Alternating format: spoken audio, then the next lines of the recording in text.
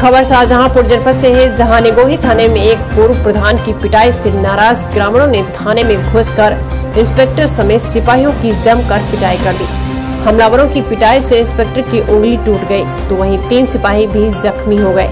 Police पर हमला करने वाले ग्रामीण थाने के सीओजी मोबाइल को भी उठा ले गए। घटना के बाद घायल पुलिस कर्मियों को सीएससी निगोही में एडमिट करवाया गया, जहाँ उन्हें प्राथमिक उपचार दिया गया। सूचना पाकर एसपी सिटी संजय कुमार व सीओ सदर भी मौके पर पहुँच गए।